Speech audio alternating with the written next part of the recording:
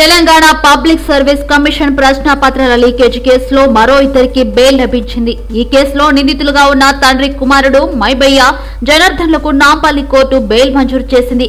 ప్రశ్నాపత్రాల leakage కేసులో ఈ ఇద్దరు నిందితులను ఏప్రిల్ ఇరవై ఒకటిన సిట్ అధికారులు అరెస్ట్ చేశారు. డాక్యా నాయక్ నుంచి తన కుమారుడి కోసం ఏ ఈ ప్రశ్నాపత్రాన్ని మైబయ్య రెండు లక్షలకు కొనుగోలు చేసినట్లు సిట్ దర్యాప్తులో తేలింది. తాజాగా ఈ ఇద్దరికి బెయిల్ మంజూరు చేయడంతో ఈ కేసులో ఇప్పటి వరకు బెయిల్ పొందిన వారి సంఖ్య పదిహేడుకు చేరుకుంది. నగరంలో మెడికల్ దుకాణాలపై డ్రగ్ కంట్రోల్ విభాగం మెరుపు దాడులు చేసింది. పలు మెడికల్ షాపుల్లో అధికారులు తనిఖీలు చేపట్టారు. అధిక ధరలు నాణ్యత లేని మందులు అమ్మకాలను గుర్తించిన అధికారులు చర్యలు తీసుకున్నారు.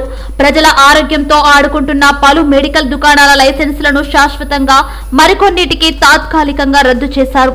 ఇందర్బా కోటిలోని Ganesh pharmaceuticals Amberpet biosphere enterprises Nampally Sardar medical hall Akshaya medical and general store Hyderabad medical and general stores Langar Houz లోని RS medical and general stores Charminar Bharat medical and general stores Humayun Nagar Al Hamra medical and general store Uppal Shri Ayyappa medical and general stores Gowliguda Gokul medical shop Charminar Meera medical shop Mangar Basti life pharma. ఇలా పలు medical షాపులపై drug control చర్యలు తీసుకుంది. వీటిలో కొన్నింటి లైసెన్స్లను తాత్కాలికంగా మరికొన్నింటిని లైసెన్స్లను శాశ్వతంగా రద్దు చేసింది. నగరంలో ఇంటర్ సెకండ్ ఇయర్ విద్యార్థిని ఆత్మహత్య చేసుకుంది. కుల్సంపురా పోలీస్ స్టేషన్ పరిధిలోని భరత్ నగర్లో ఈ ఘటన జరిగింది. నవ్య అనే విద్యార్థిని నిన్న రాత్రి ఉరి వేసుకుని బలవన్మరణానికి పాల్పడింది. ఈ ఘటనపై పోలీసులు కేసు నమోదు చేసుకుని దర్యాప్తు చేస్తున్నారు. దీనిపై నవ్య తల్లిదండ్రుల ఆరోపణలు వేరేలా ఉన్నాయి. తమ ఇంటి ముందు గుర్తు తెలియని వ్యక్తులు క్షుద్ర పూజలు చేసి నిమ్మకాయలు దీపాలు పెట్టి వెళ్తున్నారని అందుకే తమ కుమార్తె భయంతో ఆత్మహత్య చేసుకుందని నవ్య తల్లిదండ్రులు చెబుతున్నారు. జూబ్లీహిల్స్ పోలీస్ స్టేషన్లో తనపై నమోదైన కేసును కొట్టివేయాలని కోరుతూ నటి డింపుల్ హయాతి హైకోర్టును ఆశ్రయించారు.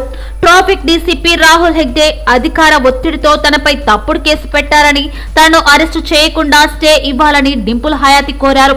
కేసు విచారణ జరుగుతుందని డింపుల్ హయాతికి సిఆర్పిసి నలభై ఒకటి ఏ నోటీస్ కూడా ఇచ్చినట్లు పబ్లిక్ ప్రాసిక్యూటర్ తెలిపారు.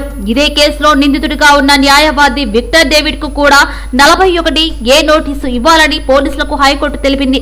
సిఆర్పిసి నలభై ఒకటి ఏ నిబంధనల మేరకే వ్యవహరించాలని పోలీసులకు స్పష్టం చేసింది. పోలీసుల నోటీసులకు స్పందించి విచారణకు హాజరు కావాలని డింపుల్ను హైకోర్టు ఆదేశించింది. రోడ్డు ప్రమాదంలో చనిపోయిన కాంగ్రెస్ కార్యకర్త కుటుంబానికి టీపీసీసీ కార్యదర్శి దండి రెడ్డి అండగా నిలిచారు. ఇబ్రహీపట్నం నియోజకవర్గం దండు మైలారం గ్రామానికి చెందిన కాంగ్రెస్ కార్యకర్త రావణామోని మురళీకృష్ణ పది రోజుల క్రితం రోడ్డు ప్రమాదంలో మరణించారు. దీంతో అతని కుటుంబ పరిస్థితి సరిగా లేదనే విషయం తెలుసుకున్న దండెం రామరెడ్డి మురళీకృష్ణ దశదిన కర్మ కార్యక్రమానికి హాజరై శ్రద్ధాంజలి ఘటించారు. మురళీకృష్ణ భార్య సునీత కుమారుడు భవిష్ కుటుంబ సభ్యులను కలిసి ధైర్యం చెప్పి పదివేల రూపాయల ఆర్థిక సహాయం అందజేశారు. ఈ కార్యక్రమంలో స్థానిక ఎంపీటీసీ సీతయ్య సర్పంచ్ మల్లేశ్వరి జంగయ్య ఇబ్రహీపట్నం నియోజకవర్గం ముదిరాజ్ సంఘ ప్రెసిడెంట్ లింగం ముదిరాజ్ దండు మైలారం గ్రామ కాంగ్రెస్ పార్టీ ప్రెసిడెంట్ బుగ్గారాములు పలువురు పాల్గొన్నారు. కీలక రేట్ల విషయంలో ఆర్బీఐ మరో విడత యథాతథ విధానాన్ని కొనసాగిస్తూ నిర్ణయించింది. మానిటరీ పాలసీ కమిటీ భేటీలో తీసుకున్న నిర్ణయాలను ఆర్బీఐ గవర్నర్ శక్తి కాంతదాస్ వెల్లడించారు.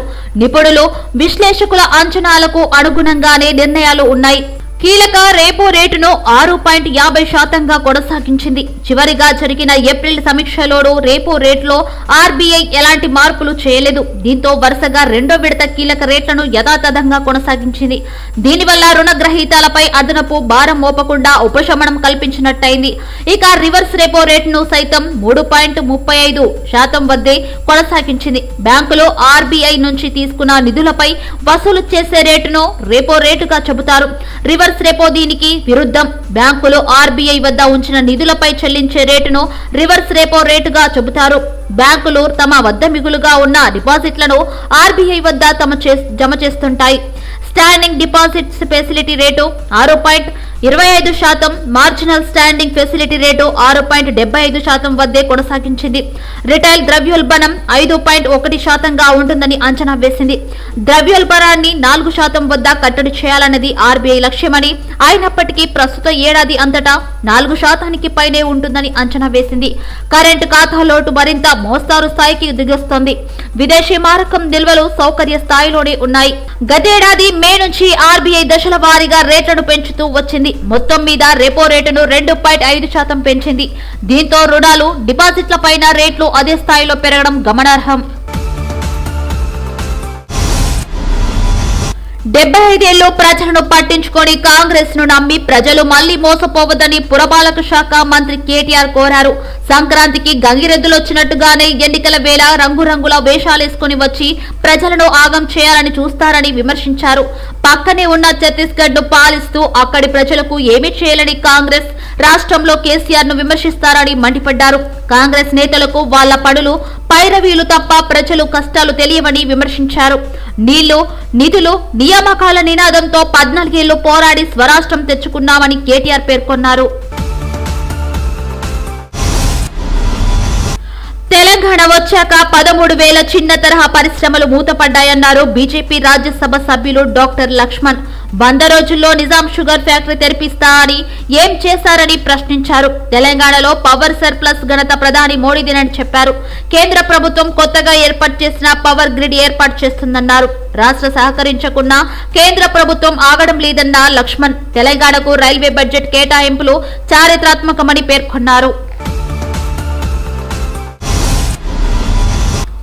పోరాడి తెచ్చుకున్న తెలంగాణ ఉద్యమానేత చేతుల్లో నుంచి మరొకరి చేతుల్లోకి వెళ్తే ఆగమవుతుందని ఆర్థిక శాఖ మంత్రి హరీష్ రావు తెలిపారు.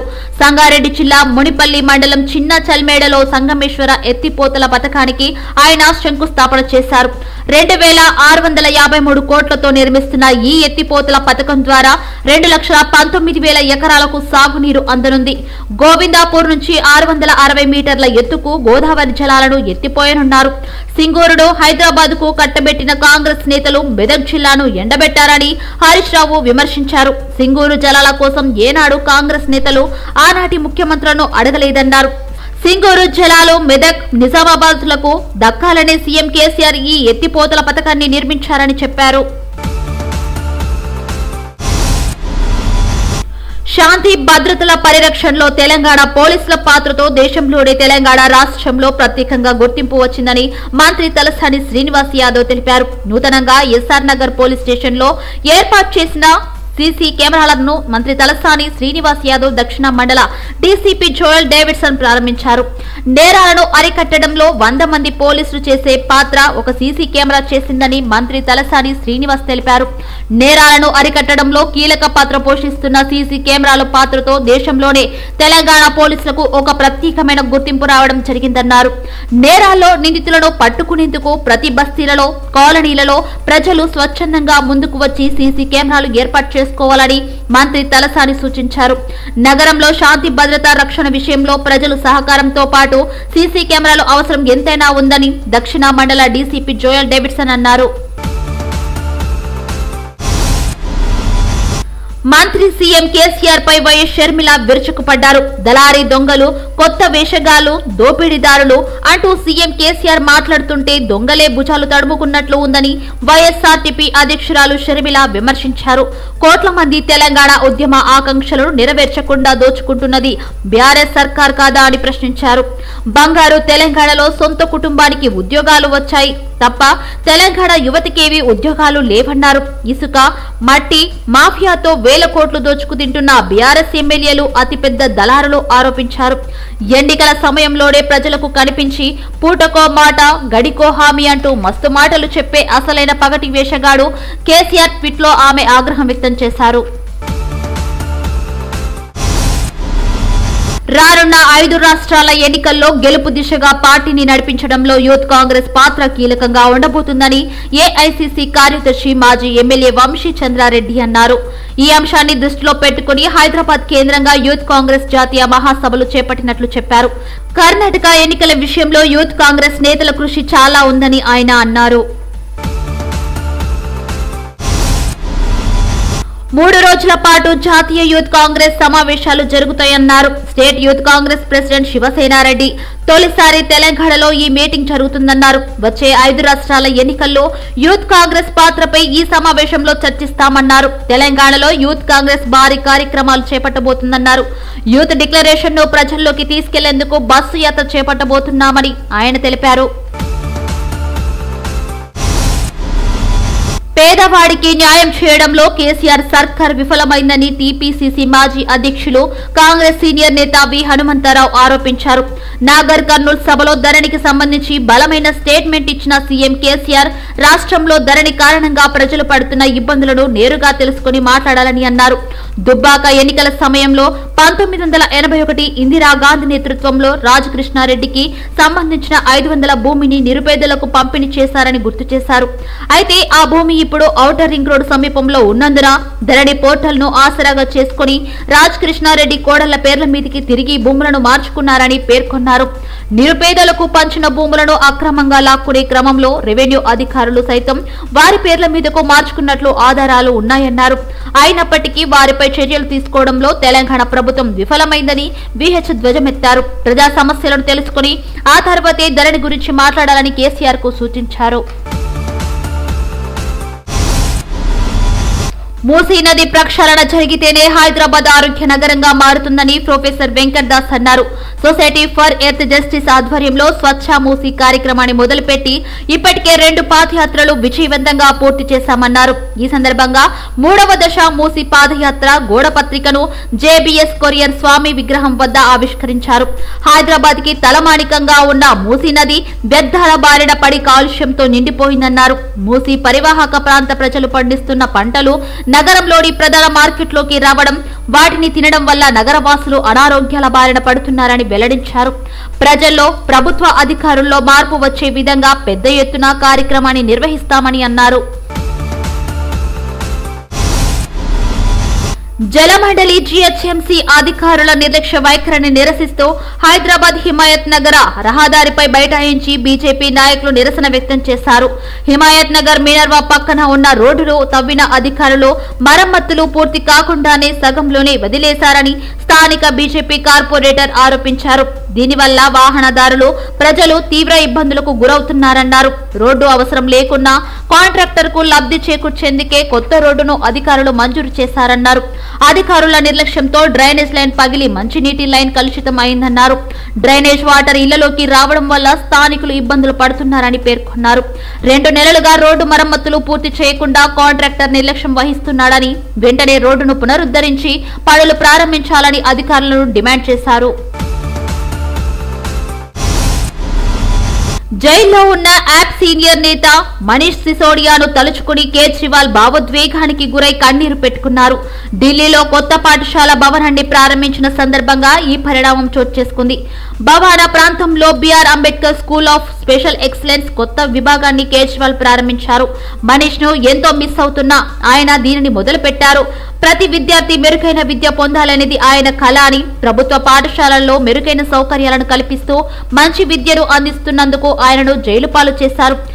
తప్పుడు ఆరోపణలు చేసి తప్పుడు కేసులు పెట్టి మంచి వ్యక్తిని జైల్లో పెట్టారని విమర్శించారు. ఎంతో మంది దొంగలు రోడ్లపై స్వేచ్ఛగా తిరుగుతున్నారు. ఆయన త్వరలోనే జైలు నుంచి బయటకు వస్తారని తాను నమ్ముతున్నానని కేజ్రీవాల్ పేర్కొన్నారు. నందమూరి బాలకృష్ణ కథానాయకుడిగా అనిల్ రావిపూడి దర్శకత్వంలో ఓ సినిమా తెరకెక్కుతుంది. ఎన్బీకే నూట ఎనిమిది వర్కింగ్ టైటిల్తో ప్రస్తుతం సెట్స్ పై ఉన్న ఈ సినిమా టైటిల్ను తాజాగా చిత్ర బృందం ప్రకటించింది. జూన్ పదిన బాలకృష్ణ పుట్టినరోజును పురస్కరించుకుని ఈ సినిమాకు భగవంత్ కేసరి అనే టైటిల్ను ఖరారు చేశారు. ఇంతకు ముందెప్పుడు చూడని సరికొత్త పాత్రలో బాలకృష్ణ కనిపించనున్నారు. అంతేకాదు అనిల్ రావిపూడి శైలి ఎంటర్టైన్మెంట్ ఏమాత్రం మిస్ కాకుండా సినిమాను తీర్చిదిద్దినట్లు సమాచారం కాజల్ కథానాయికగా నటిస్తున్న ఈ చిత్రంలో శ్రీలీల కీలక పాత్ర పోషిస్తుంది. తమన్ సంగీతం అందిస్తున్నారు.